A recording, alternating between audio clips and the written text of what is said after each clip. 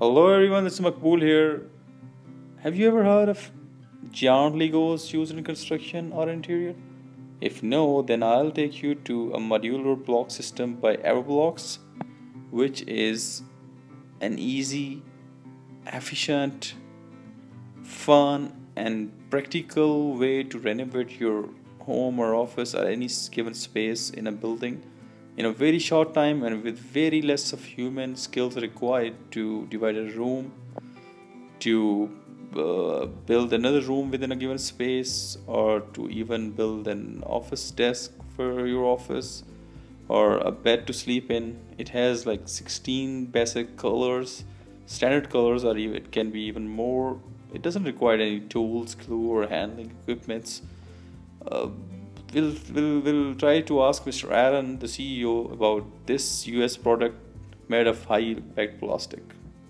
Mr. Aaron, how are you? Who is the CEO, and he will tell us about Everblocks, how he got the idea, and I mean, what he's doing. Right. So me, my my experience always was in plastics products, and uh, I had a big company that I sold five years ago. We made modular floors all around the world also in Pakistan. Um, so when I sold that, I had uh, an agreement that I could not make any more floors for five years.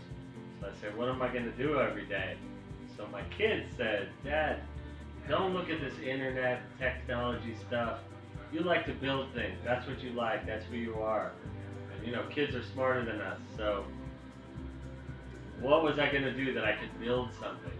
And they said, well, why don't we do like big Lego?